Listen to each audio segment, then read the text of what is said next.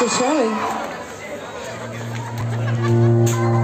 Snart 27 och ganska trasig fast det är nog rätt vanligt. Håller nog ett tag till. Jag tänkte att det blir nog bättre dagen jag blir äldre. Det tror jag inte längre.